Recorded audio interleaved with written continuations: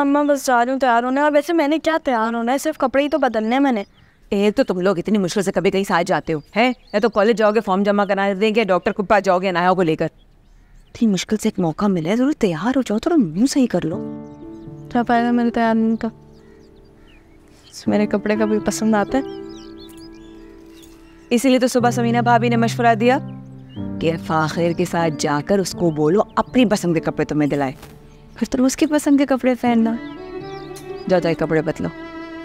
हम मैं मैं मुझे दे दो। तुम जाओ मैं पहना अच्छा बस अब दो।